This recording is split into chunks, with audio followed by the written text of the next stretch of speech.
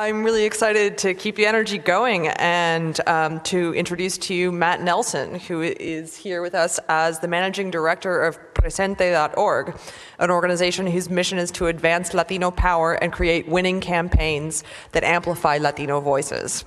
Matt previously served as the uh, organizing director at Color of Change in Oakland, which many of you might know about, and co-founded several worker cooperatives in Milwaukee, so a, a breadth of experience there. He's also a Liberty Tree Fellow and recently was featured in the first major book on the Ferguson Uprising named Ferguson is America, Roots of Rebellion. So I, I think that provides a lot of food for thought as we go into his presentation. Thanks and help me welcome Matt.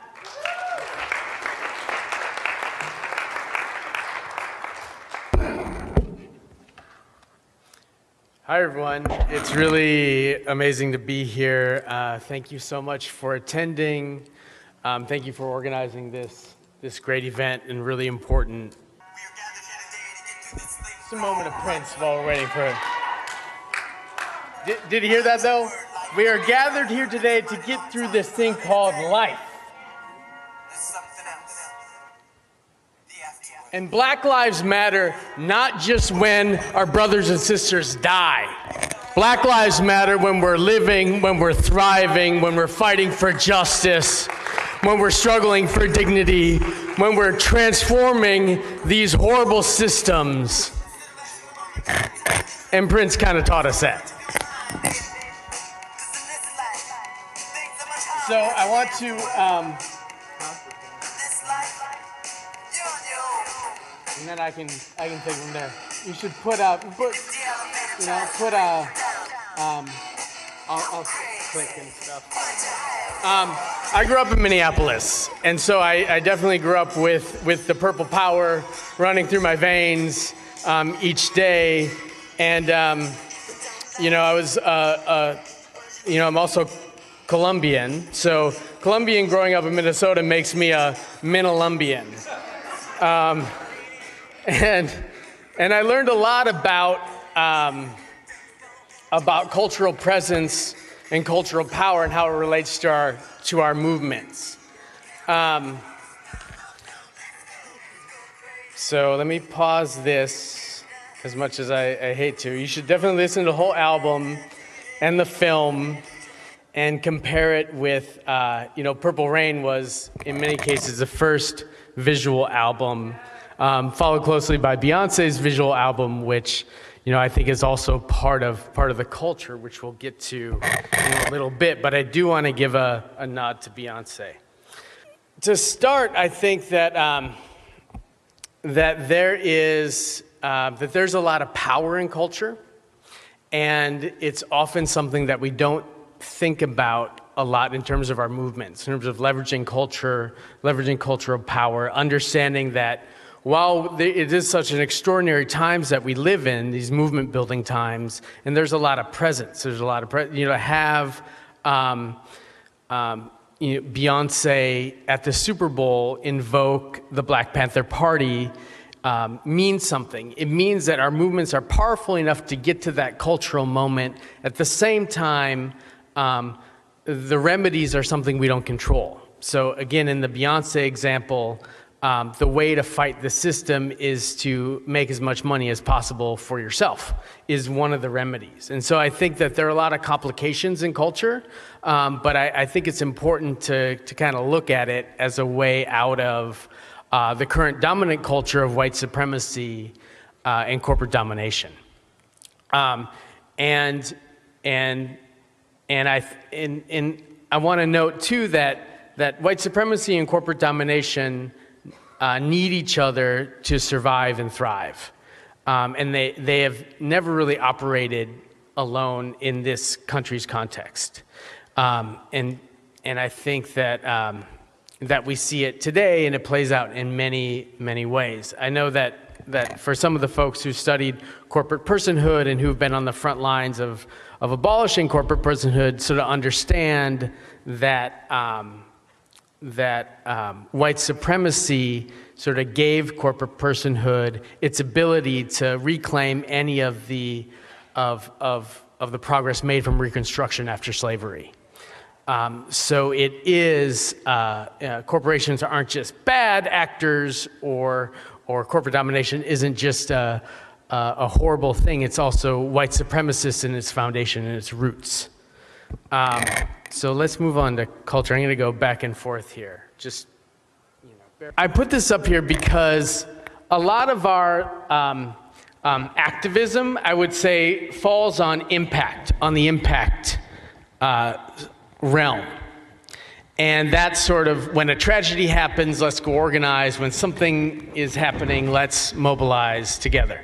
And I really want us to talk about, to just go back at the system and begin to talk about some of the social structures, motivations, assumptions um, that create the industry systems that then, you know, talk about a set of, uh, of standards and practices that then eventually get to what we interact with every day.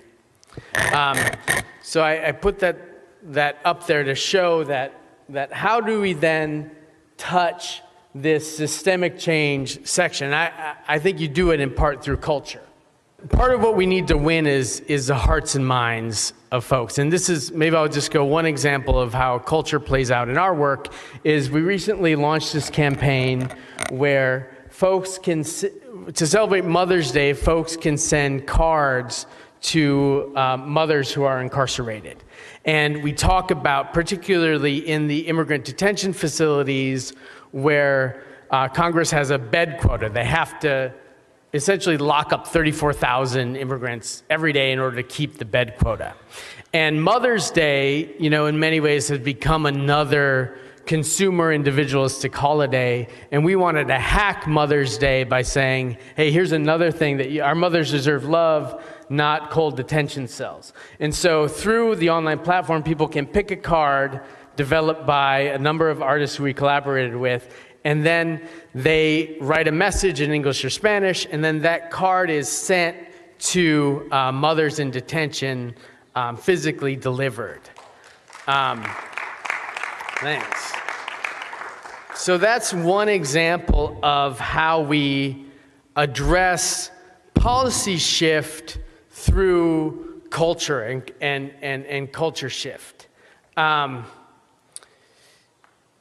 you know, let me just give a couple, another example. I think that one, ex, one slide that I had up here was um, um, marriage equality is a good example of how a cultural shift around um, marriage equality then led in many ways to the policy shift. And it was, um, you know, between, I think, I think in, in a, in an eight year period, perceptions around whether or not um, same sex marriages were okay or not went from 20 per odd percent approval rating to well over 50% in eight years. And it was because of, of the cultural shift. It was because of, of, of a humanizing campaign um, around LGBT rights that was effective. And then, of course, we know what happened in the Supreme Court. But, but it was that, that cultural shift in people's perceptions and assumptions that then led to the, to the policy victory.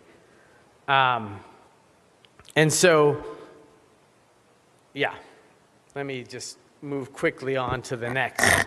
Um, I guess I want to mention that there is there's a lot of both power and culture, but also um, uh, getting to the realm of imagination, the realm of ideas with people.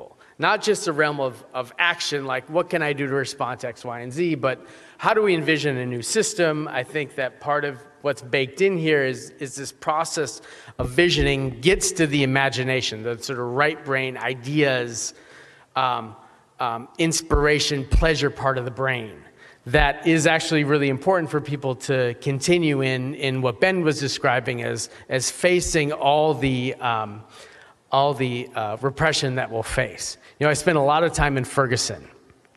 And, you know, some folks in organizing talk about a ladder of engagement for how we engage in movements. But in Ferguson, it was really a cliff of engagement. It was uh, young folks, like teenagers who had never really been active before, um, went from that to uh, open rebellion and, and a state of of open urban rebellion. And I think that is something that, um, that we know that, that it is young folks who, who have pushed social movements, who create social movements. And I think this, this, this extraordinary time moving into um, open rebellion for a very short period around the time that Mike Brown was, was killed by police um, very could have easily went to wide scale open rebellion. Um, and, but there are a lot of forces to stop that from happening. But I, I do think it's important to look at how, um, how, how a, understanding of rebellion as part of this mix um, speaks to the power of cultural shift and cultural change.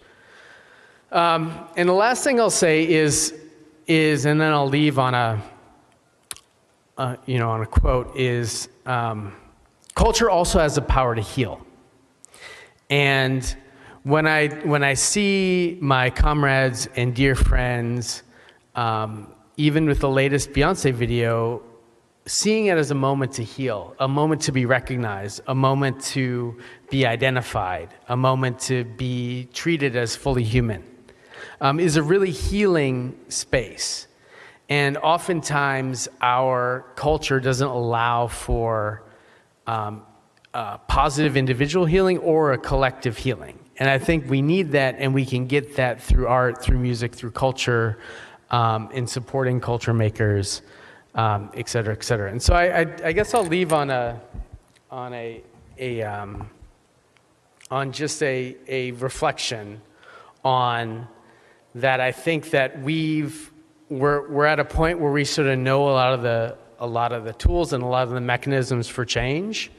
Um, and out of all the things we do and we do regularly, I do feel that culture is one of the things that we do very infrequently. Um, but we know that that the tremendous power that it can have in moving our movements toward the structural change that we demand and deserve. So thank you very much.